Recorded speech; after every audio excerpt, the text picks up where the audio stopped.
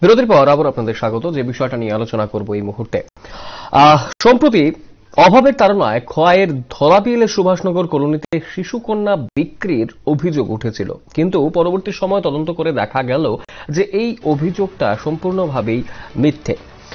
রাজ্যের একটি প্রভাতী সংবাদ পত্রিকায় এই খবর প্রকাশিত হয়েছিল এবং অভাবের তাড়নায় শিশুটিকে বিক্রি করা হয়েছে। ধলাবিলের সুভাষনগর কলোনি এলাকায় এমন সংবাদই কিন্তু প্রকাশ হয়েছিল।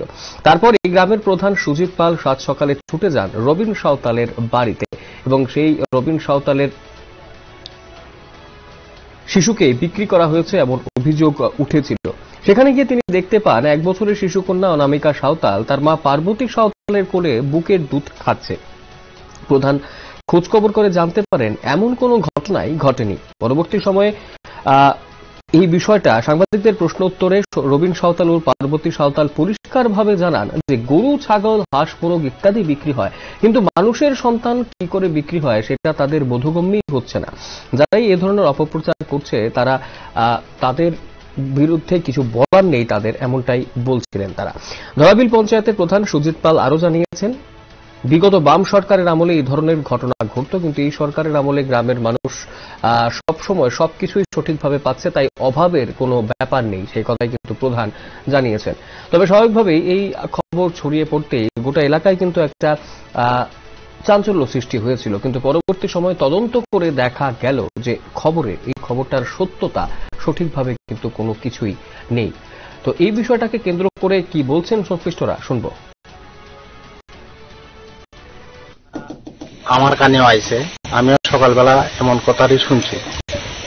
বাচ্চা বিক্রি করলেছে, শোনার পরে আমি এখানে আইছি। আয়া দেখি যে ঘটনা সম্পূর্ণ মিথ্যা এবং ভুল। আমি তারা দেখলাম, তারা বাড়িতে আয়া দেখলাম, তারার বাচ্চা তারার কাছে আছে, তারা লালন পালন করতেছে, তারা বাচ্চারা খাওয়াইতেছে। শূন্য আমি হতবম্ব হয়ে গেলাম, গাড়ি। এমন ধরনের কথা আমাদের, আমার পঞ্চায়েতের ইয়াত বাচ্চা বিক্রি করলেছে। এটা তো কে বা কারা এটা প্রকাশ করছে, এটা সম্পূর্ণ ভুল, একটা ষড়যন্ত্র। সরকারের বিরুদ্ধে একটা ষড়যন্ত্র করতে আছে এমন ষড়যন্ত্র করাটা ঠিক না। এটা সম্পূর্ণ ভুল তথ্য। জয়ী প্রকাশ করছে, সম্পূর্ণ ভুল তথ্য দিছে। মিথ্যা একটা বিবৃতি দেওয়া মিথ্যা একটা কথা কয়ে এটা প্রকাশ করছে কি, পত্রিকা ছড়াই দিছে। আজকের দিনে কি বাচ্চা বিক্রি করার কোনো প্রয়োজন আছে সরকারে কি না দিতেছে? একটা পরিবার তার চলাফেরা করার লেগে, তার সুস্থভাবে জীবনযাপন করার লেগে যা যা প্রয়োজনীয় জিনিসপত্র সবকিছু দিতেছে। রেশনে চাল দিতেছে ডাল দিতেছে লবণ দিতেছে চিনি দিতেছে আটা দিতেছে। নিজের বাচ্চা আর কবি বেতন চাইবে না বাজারে তো শোনা যাচ্ছে আপনি বাচ্চা বিক্রি করেন। না না বেশি না। গরু ছাগল নেই। গুলু ছাগল এরকম বেশি দিলে নিজের বাচ্চারে মানুষের শুন এটা ফাজলামি করতে আছে মানুষের। তো এটা গরু ছাগল না তো। এটা যে মানুষরে বেচুম যে সবাই মানুষরে কোনোদিন বেচছে নি বেচছে না। আমরা যে শুনলাম যে নাকি বাচ্চা বিক্রি না না বেচছি এই ছিল তো এটা ছিল না মেয়ে?